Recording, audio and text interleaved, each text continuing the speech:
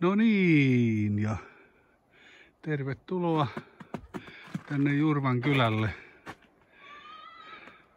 Aurinko vähän yrittää paistella ja lämmintäkin muutama aste on.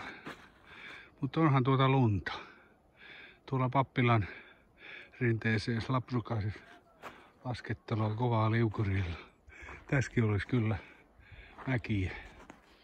Tuossa naapurilla onkin tuollainen vielä korkeampi mäki. Varmaan ihan tahallansa tehty. Meillä on sellainen pieni poika siellä, joka tykkää tietysti lasketella, niin saatu kotipihas lasketella. Kasvihuoneen katto on kyllä tyhjä.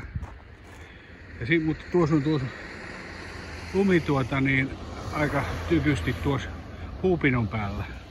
Tää vissiin jostakin muualta hommata sitten puita, kun sisältä loppuu. Tällä puolella taloa vielä lunta on aika merkittävästi. Se on vain niin jääs tuo alaosa tuossa, että se ei lähde oikein millään siitä tulemaan. Tulee sitten omia aikojansa. Mutta tällaista tänä, tänä kevättalvena. Kai nyt niin voi, voidaan jo sanoa.